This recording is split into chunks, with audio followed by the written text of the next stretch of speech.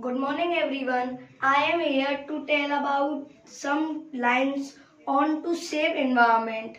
Environment is the surrounding of us. Environment includes water, air and some natural things. First I tell about water.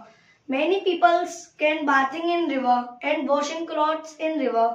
It is wrong because it it polluted our river they don't do this thing they one one bucket of water and bathing any other place and washing clothes also. Second i tell about air.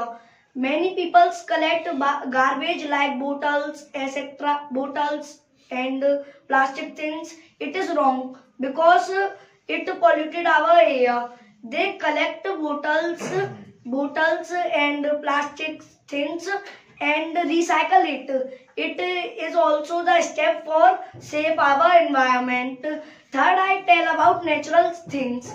Many people cut green trees for making the tables, beds. It is wrong because it also harm our environment.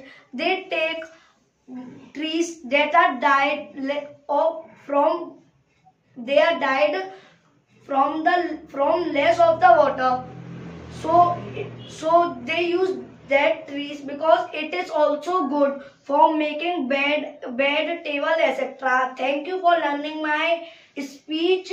Subscribe our channel the dictionary learner and click on bell icon for for giving our more updates.